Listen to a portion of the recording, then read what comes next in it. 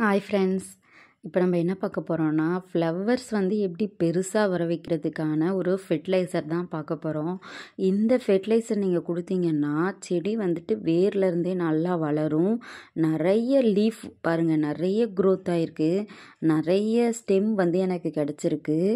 நல்லா வந்து ஹெல்த்தியாகவும் க்ரோத் ஆகிருக்கு அந்த மாதிரி உங்கள் செடிகளும் நீங்கள் வளரணும்னு நினச்சிங்கன்னா இந்த ப்ராடக்டை நீங்கள் வாங்கி யூஸ் பண்ணி பாருங்கள் நான் யூஸ் பண்ணதுக்கு அப்புறம் தான் இந்தளவுக்கு எனக்கு ரிசல்ட் கிடச்சிச்சு. நல்ல பெரிய பூக்கள். நம் மற்ற ஃபெர்டிலைசர்ஸ் கொடுத்தா பூக்கள் வரும். ஆனால் பெருசாக வராது. இந்த ஹியூமிக் கோல்டு நீங்கள் வாங்கி யூஸ் பண்ணி பார்த்தீங்கன்னா செடிக்கு ரொம்ப நல்ல வந்துட்டு ரிசல்ட் கொடுக்குது.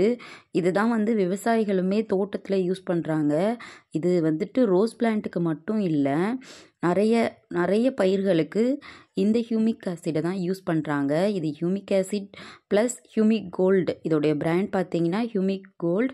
ஹியூமிக் ஆசிட் வந்து டுவெண்ட்டி பர்சன்டேஜ் இருக்குது இந்த ப்ராடக்டில். இதை வந்துட்டு இவங்க என்னென்ன டைப்பில் யூஸ் பண்ணணும்னு சொல்லிட்டு இந்த இதுலேயே அவங்க எக்ஸ்பிளைன் பண்ணியிருக்காங்க.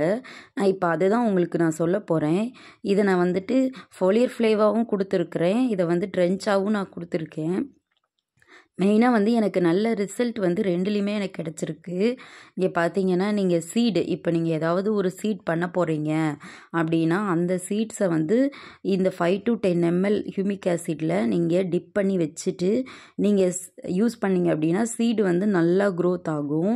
ஃபாலியர் ஸ்ப்ரேவாக இருந்தால் த்ரீ எம்எல் பர் லிட்டர் நீங்கள் ஆட் பண்ணி செடிக்கு வந்து நீங்கள் ஸ்ப்ரே பண்ணி விடலாம்.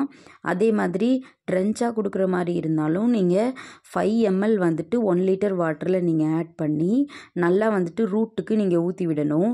அப்போ தான் ரூட் க்ரோத் வந்து நல்லாயிருக்கும் ஒரு செடியில் ரூட் நல்லா டெவலப் ஆச்சுன்னா மட்டும்தான் செடியோட க்ரோத் வந்து உங்களுக்கு நல்லா தெரியும்.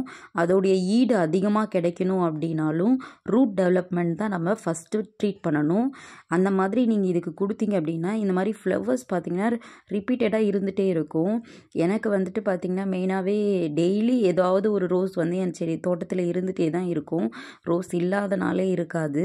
இன்றைக்கி ஒரு ரோஸ் பிளான்ட்லேருந்து நான் ஒரு ரோஸ் பறிக்கிறேன் அப்படின்னா சிகப்பு ரோஸ் பறிக்கிறேன் அப்படின்னா நெக்ஸ்ட்டு ஒரு பிங்க் ரோஸ் எனக்கு கிடைக்கும். பிங்க் ரோஸ் படி பறித்தேன்னா நெக்ஸ்ட் டே வந்து பார்த்திங்கன்னா எனக்கு ஆரஞ்சு ரோஸ் கிடைக்கும். இந்த மாதிரி ரிப்பீட்டடாக எனக்கு ரோசஸ் இருந்துகிட்டே இருக்கும்.